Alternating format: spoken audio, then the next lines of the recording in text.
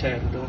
Allora, oggi è il 9 maggio, come abbiamo sentito tutti, oggi è giornata di grandi eh, ricordi, si ricorda la morte di Impastato, la morte di Aldo Moro, del ritrovamento in via Caetani, ma il 9 maggio è anche la festa dell'Europa. E eh, in questi anni tra la pandemia e tra la guerra eh, alle porte Dio solo sa quanto c'è tanto bisogno di Europa, quanto siamo fortunati ad avere una protezione, un ombrello europeo dove sentirci protetti. Mm, forse perché sono, come si dice, giovane, eh, forse perché non ho un passato politico eh, che risale agli anni dove c'era la contrapposizione destra e sinistra, ma io credo che adesso la vera contrapposizione sia tra partiti europeisti che abbiano bene a cuore qual è il futuro del nostro paese contro partiti sovranisti. E come, come mi ha insegnato Michele Usuelli, che ci onora della sua presenza nella nostra lista, eh, cosa vuol dire sovranismo? Vuol dire prima gli italiani, ma se siamo in Lombardia non è più prima gli italiani, ma prima i lombardi. E quando arriviamo a Sesto ci sentiamo che ci dicono prima i sestesi. Ma Michele, Sesto ha tanti quartieri e quale privilegiamo? Facciamo prima Cascina Gatti, visto che ci sono anche dei rappresentanti di Cascina Gatti? E poi Cascinagatti alle vie e alla fine si finisce, come dice Michele, a guardare al proprio condominio, ma poi il vicino di casa mi sta sulle palle e alla fine dico prima io. E alla fine il sovranismo è questo, è un concetto molto egoistico di concepire la comunità, eh, dove non c'è più solamente quella normale propulsione a guardare i propri interessi, ma c'è una, sostanzialmente un disinteresse verso quello che può servire per la società, per contribuire contribuire alla società. Eh, questa è più o meno un po' l'idea di fondo di questo progetto politico, tre forze che eh, si nutrono degli stessi valori che si vogliono mettere a disposizione a Sesto San Giovanni per fare qualcosa di diverso, qualcosa di più innovativo. Eh, una delle domande che mi fanno spesso quando andiamo in strada a volantinare, a conoscere le persone, mi chiedono ma tu di che anno sei? Io dico dell'88 e mi dicono quindi tu vuoi fare il sindaco di Sesto a 34 anni? E io mi trovo un po' nel disagio di dover dire che facendo gli anni a settembre in realtà alla data delle elezioni ne avrò soltanto 33. Eh, sì, eh, io sono qui, io do la mia disponibilità, potrei dirvi che per il lavoro che faccio in realtà ho anche esperienza, ormai da diversi anni, di come si lavora con le pubbliche amministrazioni. Potrei dirvi che io non sono da solo, ma ho una squadra di persone che si candidano con me e anzi invito i miei candidati a alzare la mano e a farsi vedere chi sono. Fatevi vedere così la gente vi riconosce, guardateli bene in faccia eh, sono persone che si avvicinano eh, molto spesso la prima volta alla politica con una genuina voglia di fare il bene per la loro città. E potrei dirvi questo, ma in realtà vorrei dirvi un'altra cosa, e cioè che forse solo in Italia che c'è il concetto che eh, la politica è una cosa che devono fare, che devi fare eh, solamente se hai una lunghissima esperienza di partito, solo se sei stato un grande dirigente, solo se hai mangiato la politica. Eh, io vorrei ricordare alcuni esempi che secondo me sono molto significativi. Ad esempio in Finlandia, e tutti noi sappiamo cosa sta vivendo la Finlandia in questo periodo, c'è un premier che ha 34 anni, una giovane donna eh, Macron è diventato presidente della Repubblica francese a 39 anni, gli sono stati dati i codici delle armi nucleari francesi a quell'età. Anche Renzi, per dire, a 39 anni è diventato presidente del Consiglio dei Ministri. Certo, non ci sono solamente giovani capaci, abbiamo visto i vari Di Maio, abbiamo visto in Austria il cancelliere tedesco ultraconservatore, quindi l'età di per sé non è un valore, ma l'età di per sé non deve essere un ostacolo. Eh, e, e in realtà il tema dei giovani in politica e come la visione, le responsabilità che ai giovani viene data in politica è solo la punta dell'iceberg. Se voi pensate ad alcune statistiche, agli anni in cui i giovani escono di casa. In Italia escono di casa a 30 anni, contro una media europea di 26 anni, contro una media dei paesi nordici di 22 anni. questo comporta, come potete immaginare, delle intuibili conseguenze sul piano demografico, sul piano dell'occupazione, sugli anni in cui le famiglie si formano, fanno figli. E quali sono le ragioni? Ce ne sono tantissime, possono essere i percorsi educativi poco, poco performanti, degli sbocchi professionali carenti, c'è però un tema che è molto presente in questa città e nell'area milanese che è il tema della casa ehm, a Sesto San Giovanni, così come a Milano e nei comuni limitrofi, le case sono aumentate molto di costo. Secondo una statistica che abbiamo trovato, negli ultimi quattro anni il prezzo di media delle case è aumentato del 25% per eh, l'acquisto e del 10% per l'affitto e nonostante questo non c'è stato un pari aumento dei redditi nello stesso periodo. Questo è un tema di cui non si parla, però è un tema che tutti sentono ed è un tema su cui noi, e devo dire unico, partiti, unico partito eh, a Sesto San Giovanni, abbiamo posto l'accento quando a settembre c'è stato da approvare il piano regolatore del Comune di Sesto, abbiamo lanciato l'allarme, abbiamo chiesto di fare di più, purtroppo non è stato fatto e questa sarà quindi una delle prime cose che faremo se i cittadini ci daranno fiducia e appunto ci eleggeranno come sindaco e come assessori e consiglieri di questa città. Ehm, il tema dei giovani, il tema dei giovani è molto ampio, ehm, c'è il tema della mancanza dei posti di socializzazione, noi abbiamo fatto una proposta per rilanciare la biblioteca centrale, ehm, una proposta che va nel rendere la nostra biblioteca moderna, un punto di riferimento per i ragazzi che molto spesso vanno in altre città perché a Sesto mancano le strutture e abbiamo fatto anche una proposta di rivedere gli spazi interni perché è un luogo molto bello e magari togliamo un po' di uffici pubblici e apriamolo alla città questa biblioteca. Noi ci vogliamo confrontare su queste proposte, ci vogliamo confrontare su eh, delle idee concrete, non ci interessano le polemiche, le polemiche le lasciamo agli altri. E negli ultimi dieci giorni di polemiche secondo me ne sono state fatte anche fin troppe a partire dal famoso episodio dello scarafaggio nel panino alla mensa. Ora, questa è una cosa intollerabile che non deve mai succedere. E se io fossi stato il sindaco, avrei se io fossi stato il sindaco, anch'io sarei andato nelle mense a fare un pranzo a sorpresa, ma non a un mese dalle elezioni, magari l'avrei fatto anche già negli ultimi due anni, visto che è una cosa che va avanti da tempo. E se io fossi il sindaco però non mi limiterei a fare delle azioni come sono state annunciate, di fare eh, delle ispezioni, applicare delle penali. Questa è attività ordinaria.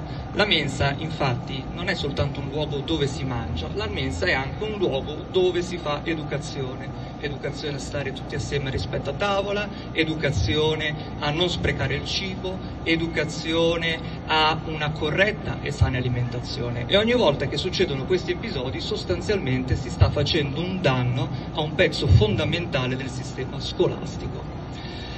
Ed è per questo che secondo me proprio una delle azioni che dovrà essere fatta, proprio per ridare fiducia alle mense scolastiche cittadine è quella di iniziare dei percorsi con dei nutrizionisti pagati dalla società che gestisce le mense, visto che appunto il danno proviene da lì, e poi anche mandare i ragazzi a conoscere nei luoghi dove i cibi vengono fatti per imparare appunto il rispetto alla vita sana e se ci sono degli avanzi si fanno le schiscette e si porta a casa quello che è avanzato, perché così il genitore verifica cosa i figli mangiano a mensa e non ci sono delle polemiche pretestuose, ma i ragazzi vengono al tempo stesso anche eh, abituati a eh, combattere lo spreco alimentare.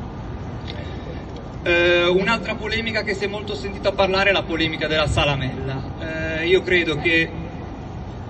Mi fermano della salamella. Io credo che ognuno ha il diritto di fare politica come vuole, se uno ritiene che fare politica con la salamella è una buona politica che la faccia, magari se poi ci riesce gli si può anche subappaltare la festa dell'unità e l'altra polemica che secondo me è vergognosa che è stata fatta sono quelle sui post eh, di anni e anni fa di Michele Foggetta, post che io sinceramente non avrei mai scritto, post che io non condivido nel merito, ma sono stati presi, sono stati buttati nei social per fare il solito tritacarne di odio.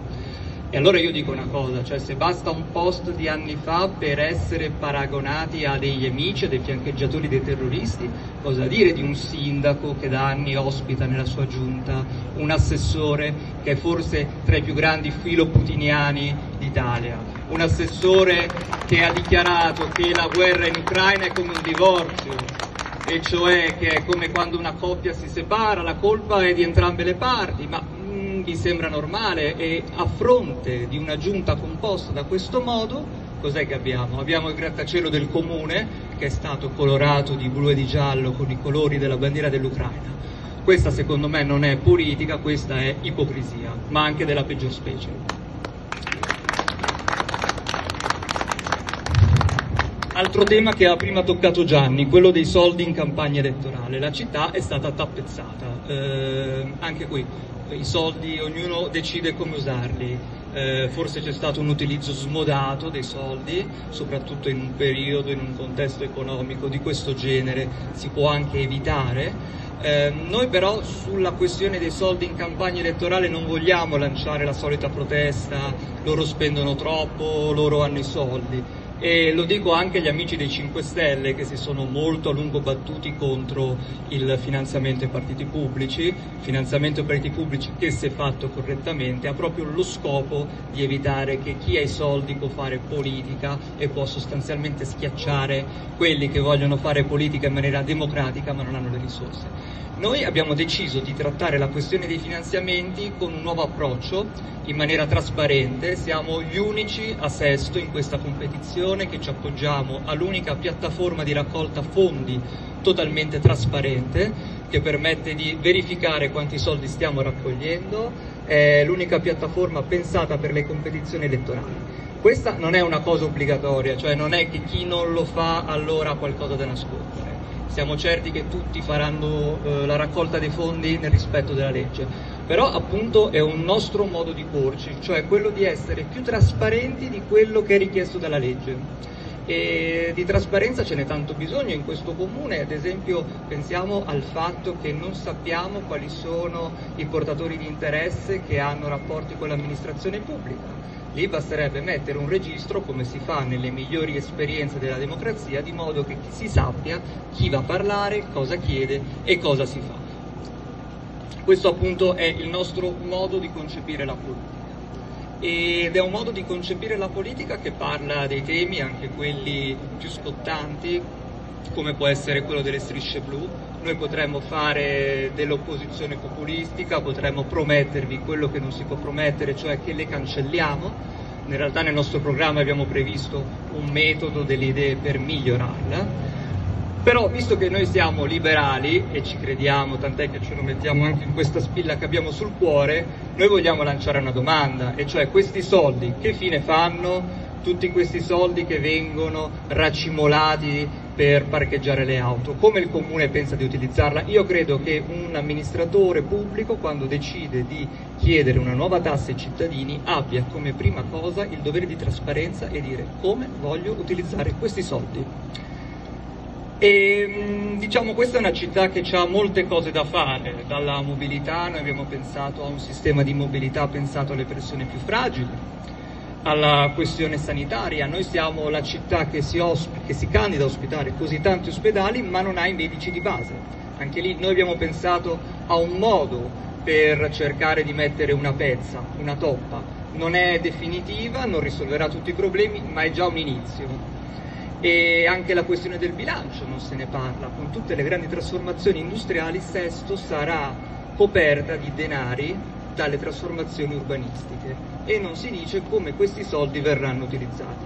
Noi non vogliamo che si trasformi questa occasione, che è il nostro PNRR, nell'ennesima occasione per buttare soldi in manutenzioni, in cattedrali del deserto. Noi vogliamo una discussione per decidere come utilizzare questi soldi con progetti di lungo respiro e che abbiano un impatto almeno di una generazione. E poi eh, c'è tutta anche una questione di cultura, di eventi, eh, tutti i temi che in questa città sono morti in questi anni. Questa è anche una città che avrà tanti problemi, però ha anche bisogno di tornare anche un po' a sorridere. Com'è che si può fare? Magari ripristinando una tradizione di questa città che era la marcia del primo maggio, che era molto amata oppure ridando centralità alla festa del Santo Patrono, che quest'anno si è deciso che non verrà fatta alla fiera perché a quanto pare c'era negli anni scorsi uno scarso interesse della cittadinanza, forse c'era scarso interesse perché la qualità dell'organizzazione era molto scesa. Noi ad esempio vorremmo lanciare questa proposta in campagna elettorale con il supporto di tutti i cittadini, i commercianti che ci vogliono aiutare, per ridare vitalità a questa festa ed è quella ad esempio di coinvolgere la comunità spagnola che festeggia lo stesso santo, la comunità spagnola che è presente in città, a Milano e in provincia e far diventare Sesto la città dell'accoglienza di questo mondo in modo che assieme ci si possa festeggiare, si possa dare nuovo slancio, un nuovo brio alla festa. Eh, non mi voglio dilungare oltre sul programma, anche perché ci saranno altre occasioni per discuterne, ma anche perché sennò eh, facciamo tardi. Eh, vorrei lanciare due messaggi politici molto chiari. A breve si incominceranno gli appelli al voto utile. Il voto utile non è quello che supera il primo turno, ma il voto del candidato, della squadra che ha più chance di vincere il secondo e andare a governare ed è evidente che noi siamo gli unici che non siamo legati a delle ideologie, non siamo legati a degli ehm, concetti estremistici, noi siamo gente che ha dei programmi, ha delle idee, ha delle proposte che vuole portare per la città. Quindi eh, al secondo turno siamo quelli che davvero possiamo, gli unici che possono cambiare le cose in questa città e dare e dare nuova, nuova linfa a Sesto San Giovanni. Ehm, è evidente che siamo in campagna elettorale. È evidente che siamo in campagna elettorale e quindi non possiamo altro che chiedervi il vostro voto, ma io vi voglio chiedere anche un'altra cosa, oltre al voto, che è il dubbio. Il dubbio a tornare a casa, riflettere di quello che ci siamo detti, leggere il nostro volantino, leggere il nostro programma, ripensare alle nostre idee e poi ridiscutere, ritrovarci, rivederci, dire che cosa si può fare per migliorare, dirci cosa stiamo sbagliando e cosa possiamo migliorare. Eh, noi non crediamo nella politica fatta di slogan, non crediamo nella politica fatta con i cappellini, i fischietti e le magliette, non vogliamo tifosi di calcio, vogliamo cittadini consapevoli su come utilizzare il loro abbiamo uno slogan che è nascosto dalla bandiera che è più valore per Sesto, non è un modo di dire, è una cosa a cui ci crediamo, noi vogliamo portare dei valori, vogliamo difenderli, li vogliamo condividere con voi e quindi con il vostro supporto ce la possiamo fare. Grazie.